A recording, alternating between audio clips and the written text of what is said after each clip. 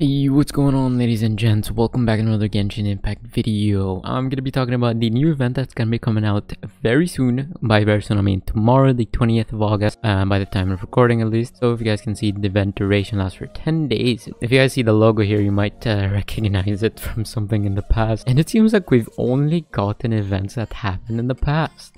They had no new events these past few days, just the Theater Mechanicus, the Lost Riches, and now this. It just looks like reused event content. A little bit interesting because they might just stop making new content to that degree where you know they always make new content or whatever. Um so they might just start reusing content, naming them something else and just move on.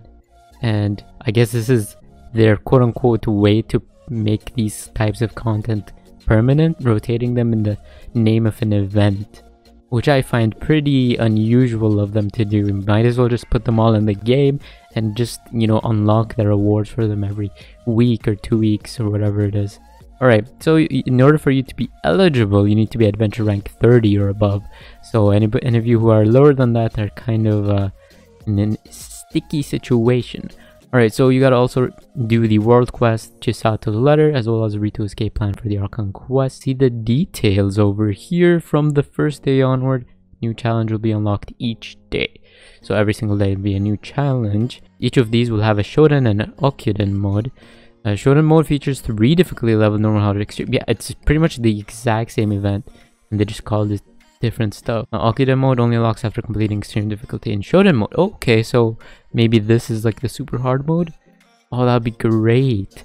Each challenge has three completion criteria. Cool.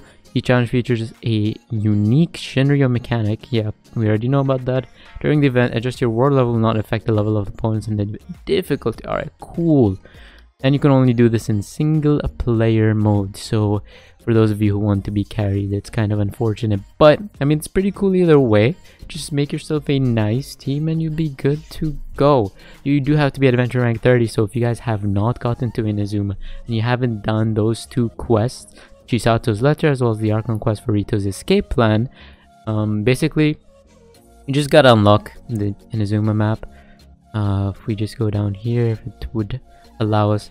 So yeah, you just gotta, you know, escape from Ritou, unlock this part of the map, you know, the rest of the map, and you'll be good to go. As well as do Chisato's letter, which is just sending a letter to Liyue. Pretty easy, just teleport. Alright, so I'm gonna show you guys gameplay, maybe if I can pull it out here, of the previous um, Phantom floors or whatever the heck it's called and it's kind of weird all right so it was pretty fun for me back in the day because i didn't have a solid great team for my overall you know enjoyment of the game. I just started out once more after get, taking a break from the game. It took like a huge hiatus from the game.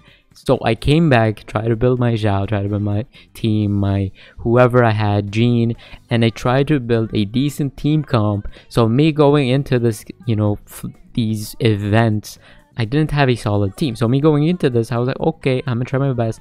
And I cleared it out and they gave me the buffs and everything. I was like, oh my god, I can finally do damage because they gave Xiao the whole plunging attack thing, doing more damage. I was like, oh yes, this is exactly what I wanted. I'm doing damage. it was uh, fun uh, then, but now it's kind of different where I already built my built my teams, built whoever I have now, and I'm really interested of what they sort of do to sort of change it because what they did is they made people be rank 30 in adventure, in adventure rank rather. So they probably want your team compositions to be a certain way, whatever, or be leveled up to that sort of level or degree and you having to do that is a little unusual because now their whole easy normal you know hard mode is scaled based off you being adventure rank 30 which is very different from what it was in the past and it's probably going to be a little bit tougher for some individuals so i'm very very interested to see what they do with how much they have going on right now so if they make it a little more difficult for the extreme, it'll be way more fun for people who have played this game for a really long time. And I really hope they do that with the whole Aki, whatever it's called, mode. So maybe, just maybe it'll be a little bit difficult. hoping, I do hope it is difficult because that would make the content much more valuable for everyone in the game, as well as them having that easy mode. Maybe that easy mode would give you the primogems that you want from this, or the rewards that you want from this, which are the primogems. That's gonna be pretty nice. So even if you don't have a really strong team and they give that easy mode so you can get the reward that you want, that would be pretty nice. That's in my opinion at least. These types of games, eh, with the event and everything, it's kind of unusual to me that these should be permanent game modes, but we can't really do much about that.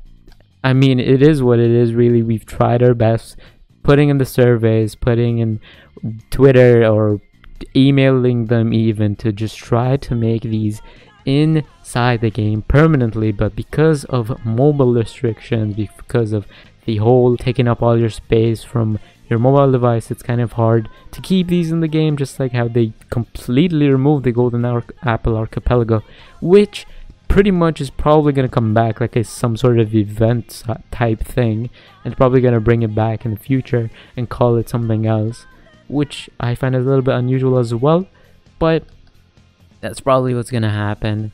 And yeah, I mean, that's pretty much what my opinion is on this anyways.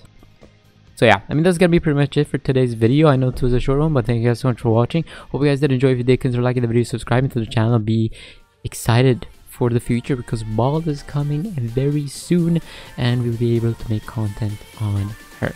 Thank you guys so much for watching. See you guys in the next one. Bye.